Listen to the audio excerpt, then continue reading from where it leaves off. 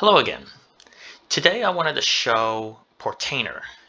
Portainer is an open source tool for managing containerized applications. What we have here is my KVM system. It's on RHEL 9.1 and it's using, right here, it's using Cockpit.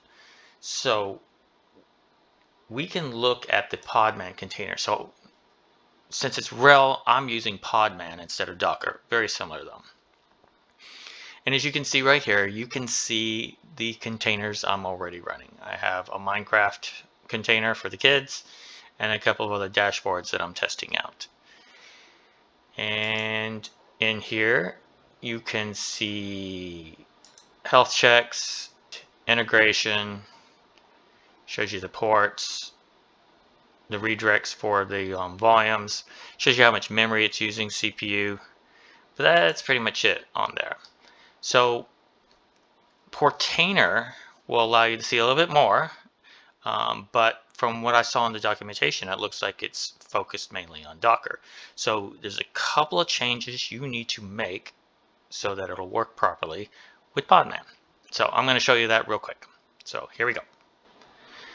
So we are now on the command line for the same server. This is my Saturn server. And we're going to run the command to pull down Portainer, the community edition.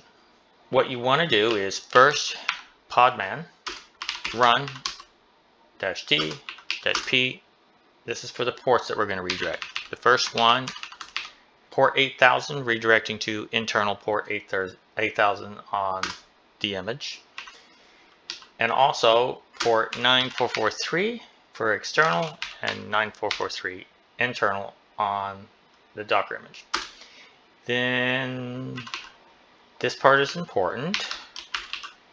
Privileged. If you leave that off, um, it will not see any environments, and you will not, and Portainer will not be able to see your Podman um, containers. We're going to name it. We're going to call it Portainer we're going to say restart equals always. And we're going to set up a volume here.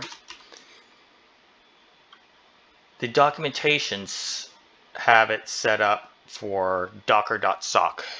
Since we're using Podman, we need to make a slight change. So we'll do run podman podman.sock redirecting to var run docker.sock colon z. We're going to make another volume, portainer data, redirecting to internal of the data folder. And finally, we want to tell it which container to pull down. There's a couple of different sources. We're going to use the one that's recommended in the documentation, which is from docker.io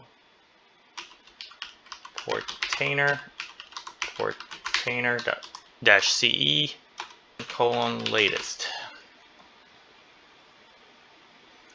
Make sure I spelt everything right. Podman run dash d ports 8000 8000 port 9443 9443 privileged our name restart always our volumes this is the one for our data so that it'll persist. And the container itself, Portainer CE latest. All right, let's run it.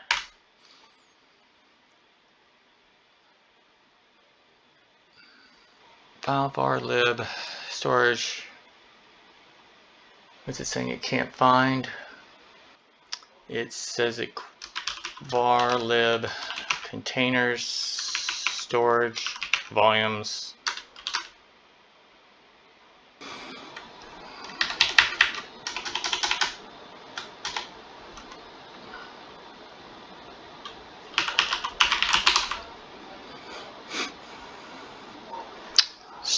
Just try Portainer colon and then slash data. There we go. I don't know what was going on there. It's weird because I ran that command before and it worked fine with the underscore. Alright, so it's up and running. So not Docker. Podman, yes.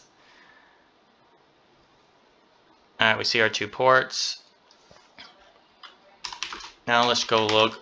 We got var lib containers storage volumes and there's the directory. Alright, looks like it's working now.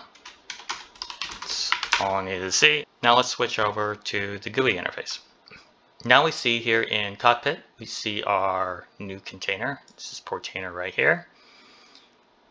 It shows you the integration, the ports that are forwarded, volumes, logs, and it looks like we're all ready to go. So what we're going to do is using the same host name because it's running on this server just using port 9443 so Saturn at 9443 HTTPS we're going to say advanced we're going to say continue and we are now on Portainer yay okay now it wants you to immediately set up a new account so you have your username of admin change it whatever you want I'm going to use admin and we're going to set up a password of 12 characters or longer. Once you're done, you can hit create user. Alright, we're in now, so we're going to say get started with using the local environment which Portainer is running in. And we can see here our containers. So let's click on here shows that we have four images, three volumes, four containers, four networks. So we can look under containers and we see the same ones running. This time, however, we have some extra stuff. We have stats, so let's look under stats for the Minecraft server. It's not really doing anything right now, so it's not going to really show a whole lot. You just give it a minute to populate. And seeing that nobody's on it at the moment, we are at 0% on everything. So we're, we're good there. And we can look under Portainer itself. We can see our images.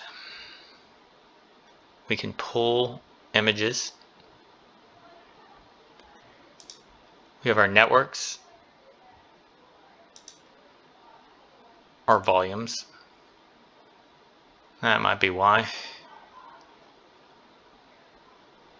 because this is one we're using now so we can just it's unused so we can click this and say remove and remove it's gone we can look at the hosts. We can set up other users environments. So there you go. Um, pretty straightforward. Just had to make a couple of changes um, from what the documentation said. If you are using this in a Docker environment you can just do exactly what the documentation says on Portainer's site and it'll work just fine. But a couple little changes needed to get it so it'll interface properly with Podman. Other than that, um, I hope you found this helpful and until next time, have a great day everybody. Bye.